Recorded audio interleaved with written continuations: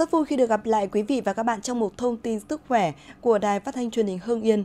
Chương trình hôm nay có chủ đề Rối loạn trầm cảm ở học sinh và sinh viên.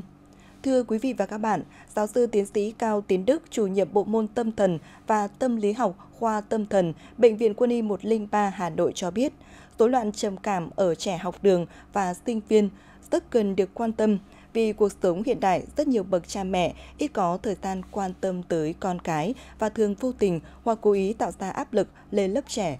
Thông tin được đăng tải trên trang web soha.vn. Rối loạn tâm trạng hỗn hợp, rối loạn tâm trạng liên quan đến sự khó chịu liên tục và các giai đoạn thường xuyên của hành vi đó là rất khó kiểm soát, độ tuổi trẻ hay mắc từ 6 đến 10 tuổi. Nhiều trẻ cũng có những rối loạn khác, đặc biệt là chống đối, phản đối, hiếu động thái quá, tăng động, giảm chú ý hoặc rối loạn lo âu. Chẩn đoán không được thực hiện trước 6 tuổi hoặc sau 18 tuổi. Khi trưởng thành, bệnh nhân có thể phát triển trầm cảm đơn cực hoặc rối loạn lo âu. Các biểu hiện bao gồm những dấu hiệu sau: các cơn kích thích thường xuyên nghiêm trọng, ví dụ như giận dữ hoặc gây tổn thương đối với người hoặc tài sản, có tần suất cao hơn hoặc bằng 3 lần trên tuần, sự bùng nổ không phù hợp với hoàn cảnh, trạng thái cáu kỉnh, tức giận hiện diện hàng ngày và được quan sát bởi phụ huynh, giáo viên, đồng nghiệp.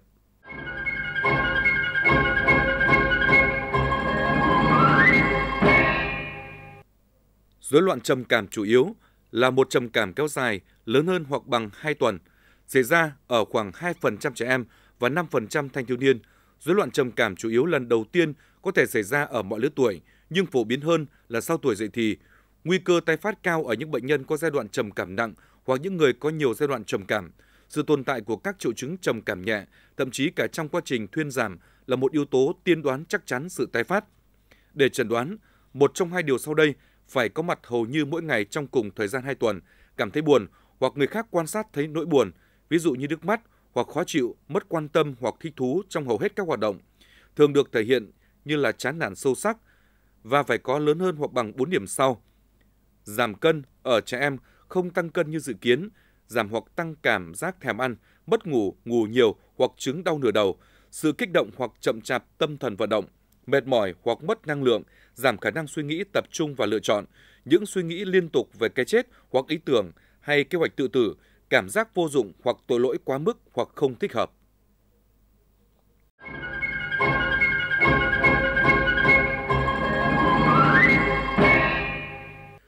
Rối loạn khí sắc, chứng ù tai hoặc tức giận dai dẳng kéo dài trong hầu hết thời gian trong ngày, nhiều hơn hoặc bằng một năm cộng với lớn hơn hoặc bằng 2 trong số những điều sau – chán ăn hoặc ăn quá nhiều, mất ngủ, ngủ nhiều hoặc chứng đau nửa đầu, giảm năng lượng hoặc mệt mỏi, lòng tự trọng thấp, kém tập trung, cảm giác tuyệt vọng, dễ bị lạm dụng chất.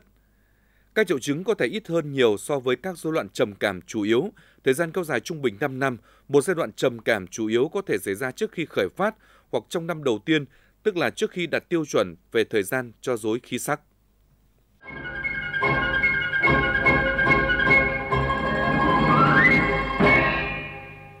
Điều trị, các biện pháp đồng thời dựa vào gia đình và nhà trường. Với trẻ học đường và sinh viên, thường là thuốc chống trầm cảm cộng với liệu pháp tâm lý. Trẻ vị thành niên, liệu pháp tâm lý và tiếp theo có thể cần đến thuốc chống trầm cảm. Có thể cần phải nhập viện trong giai đoạn cấp tính, đặc biệt khi xác định có ý tưởng và hành vi tự sát. Đối với thanh thiếu niên, sự kết hợp của liệu pháp tâm lý và thuốc chống trầm cảm thường có hiệu quả cao hơn sử dụng đơn lẻ Hầu hết các bác sĩ lâm sàng lựa chọn liệu pháp tâm lý ở trẻ nhỏ. Tuy nhiên, các loại thuốc có thể được sử dụng ở trẻ nhỏ. Fluoxetine có thể được sử dụng ở trẻ em dưới 8 tuổi, đặc biệt khi trầm cảm nặng hoặc chưa phản ứng trước với liệu pháp tâm lý. Trẻ em nên được giám sát chặt chẽ về sự xuất hiện của các tác dụng phụ về hành vi, ví dụ như mất kiểm soát hoặc kích thích hành vi. Thường xảy ra từ nhẹ đến trung bình. Thông thường, việc giảm liều thuốc hoặc thay đổi một loại thuốc khác sẽ loại bỏ hoặc làm giảm các ảnh hưởng này.